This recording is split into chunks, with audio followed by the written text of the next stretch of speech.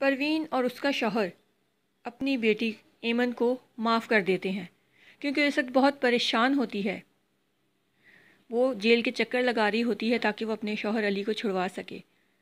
उसका शौहर जेल में बंद है, लेकिन वो जेल में भी रहते हुए अपनी बीवी एमन को सिर्फ़ इस्तेमाल कर रहा है। वो सिर्फ़ ये चाहता है कि वो किसी तरह बारह लाख देकर उसे जेल से बाहर निकलवा दे। शाहमीर अपनी बीवी आयशा के करीब होने लगता है, वो उससे मोहब्बत करने लगता है और मायरा के ख्वाब छोड़ देता है। मायरा उसकी पहली मोहब्बत तो थी, लेकिन अब वो उसके ससुर की बीवी है। वो भी अब अपनी, अपना घर बर्बाद नहीं करेगा।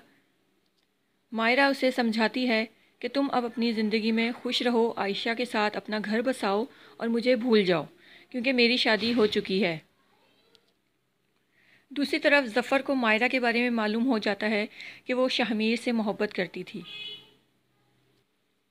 लेकिन वो इस बात पर उससे नाराज़ नहीं होगा, बल्कि वो ये कहेगा कि अगर मुझे मालूम होता तो मैं तुम्हारी ज़िंदगी में ना आता, तुमसे शादी ना करता, क्योंकि मुझे नहीं मालूम था कि तुम किसी और से मोहब्बत करती हो। दूसरी तरफ़ शहाना, जो कि नीम पागल सी होगी है, वो नफसियाती हो जाएगी और अपने घर में रहकर ही वो पागलों सी हरकतें करने लगी है। कभी उसे जादू टोना लगता है और कभी उसे रूहें नज़र आती हैं। उसकी इस हालत पर उसका शौहर हंसता है, क्योंकि वो अजीब पागलों सी हरकतें कर रही होती है।